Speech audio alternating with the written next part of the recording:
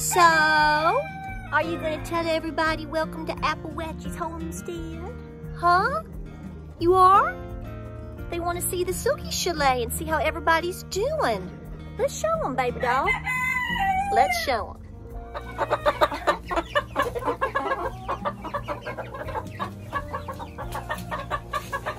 Hey, Thomas! What gives, dude? Thomas, Thomas, what are you doing over there? You've made a mess of yourself and of my feed. What are you doing? Have you missed everybody? I bet they've missed you. Thomas.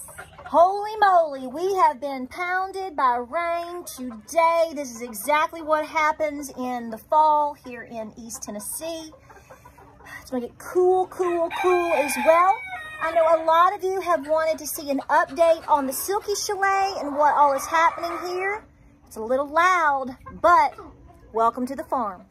So I chose to keep the Silkie Chalet just as you have seen it before because we have had several rounds of babies that have been hatched by mamas.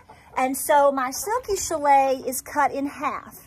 And what I've done is I keep the mamas that are hatching babies and the new babies and all of that over on the far side.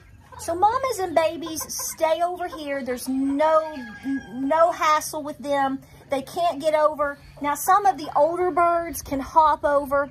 My issue for doing this in this situation is not because I'm trying to keep the babies, uh, mamas, away from the other silkies or the few little bantams that I have, and I have a duck in here now too.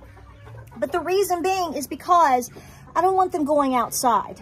They're so little. A lot of you that raise silkies or bantams and whatnots, even as they are, you know, growing little chicks, they're so small, okay? They're so little that they can literally get through my fencing out here. So let me show you what I'm talking about.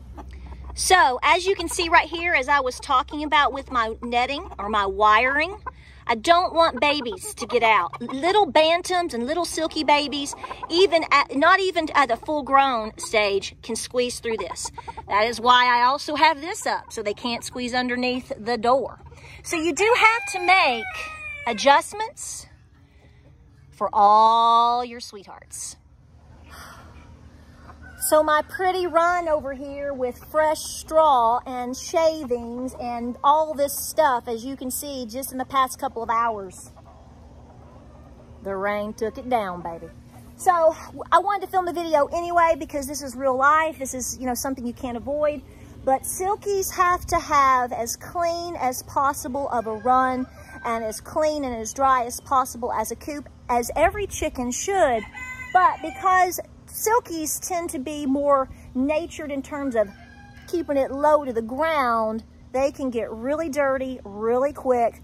They have an extra toe. They have all this extra situation in terms of all the uh, light feathering. So it really becomes an issue. You have to really watch that.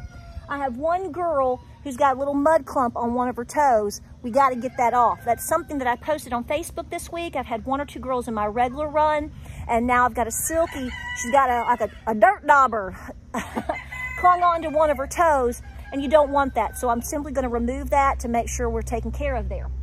But we have a great run here, and we have a new addition to the run.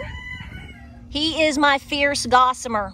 He's one of my oldest roosters, and he is the protector, y'all.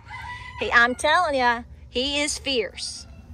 So I'm going to film from this angle real quick so you can see we put the duck, the large white duck, in with the silkies. I had two. One of them didn't make it. Oh, you got to say something, honey. Did not make it.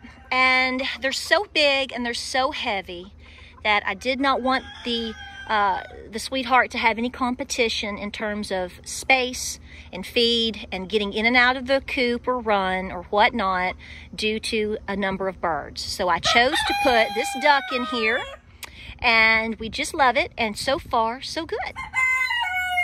All right, so let's talk about silkies for just a second. I love my silkies. I have said that even as, you know, I age with grace, And if I choose to downsize my homestead, first of all, I will always have chickens. And if I only have one breed, it will definitely be silkies. They are incredible, uh, just incredible to have on a farm. Okay, so I put a little extra feed down. See, this side right here is supposed to go, be going outside to eat. But I haven't fed them out in the run yet. As you saw, there's water because of the rain. I did feed the babies over here. They've already drank all their water, so they're hungry. I'm feeding and watering right now, so you're in the midst of doing that with me. But I put a little food down just to kind of distract them so they don't hop out on my feet here. Silkies are great to have on the farm, y'all, and they're wonderful for children. Overall, they're very gentle to have. I have the one rooster who's a little protective, so understand that it can happen, but he's just doing his job. So just know that that's part of it. Um, I do have to say that I really like having the silkies separate from the other chickens. I've always tried to keep my silkies a little bit separate simply because they just need extra, a little extra care. They're just different. They don't roost. Um, they have a totally different situation in terms of having a different, uh, you know, separate and extra toe. They're just a totally different bird. Now, I do have in here, as you know, I have Miss Scarlet. She is one of my oldest, oldest hens. She is uh, missing one eye. So she, you know, she's very gentle. She does well with the silkies. I'm going to get you, baby. I know you're thirsty. Um, and then I, of course, have the bantams. Now, I have taken my other favorite little bird, little cutie tootie Danny DeVito, who is so tiny. He's like a toy chicken. I have totally separated him. Why? Here, pumpkins, I know you're thirsty, darlings. I can't let you not have fresh water and I sit here and talk. Oh, look at those babies. Come over here and get your sips. Good job. Good job, y'all. See what I'm talking about? Just baby dolls. Get your booty back up there. Get your boot, girlfriend, get your booty back in there. You crazy girls. Crazy. So they do like to come out in free range. They do that often. In the mornings, I let them come out and whichever ones want to come out and sort of free range the area. I do that, you know, for quite a bit of, you know, quite a bit of time, but it is a managed situation. I watch them. We have not had any issues. I shouldn't say this. Lord, I shouldn't say it, but they have not, we have not had any issues with any predators. But to make it short and sweet, I did have to make the decision to take Danny DeVito and completely separate him for now. He's in a large cage. He visits with the quail. He's next to the rabbits, and he's up there with Cochise, who loves him to death. So I had to make a decision because we're going into fall and winter. We're in fall. We're going into winter, very cold weather. He doesn't get along in here very well.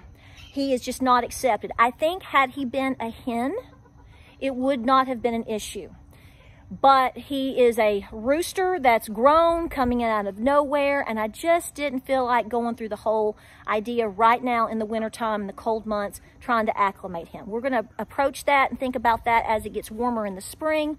Things are always changing on your farm, folks. I mean, what you're seeing me do today may not be what I'm necessarily doing tomorrow. You have to learn to adjust, um, have extra cages, be able to make quick decisions and really, it's just to have everybody get along and be healthy and do what's best overall at that time for the bird. Another reason that it is a wise decision also to keep your babies separated with their mamas from the other birds is because you're also going to be feeding a different feed for those babies. Now you can do this. You can do, a lot of people do this. They just go ahead, if they've got babies in with their flocks, they will go ahead and feed the whole flock the baby food. I actually feed my babies, my quail and all my babies, I feed them a, now I feed them a Tucker Milling feed. It's a 28%. It's a very high protein. It's actually for quail and for turkey uh, for the poults and it is for them. But you can also feed it to baby chicks. They love it. So I'm just giving it to all the mamas and babies in there. The mamas can eat the baby stuff. Okay, I'm gonna keep this real simple. They can eat that. You don't want small birds, baby chicks, and pullets, whatnot, really getting into layer feed until they're at least about 18 weeks old. We're not there yet. All right, guys, so far, so good. I'm gonna finish up with the feeding for the afternoon. Make sure everybody is tucked away for the evening. We appreciate you following along here at Appalachia's Homestead. I'm not gonna hatch any more babies right now. That's what we all tell ourselves, right? That's right. We'll see you on the next video.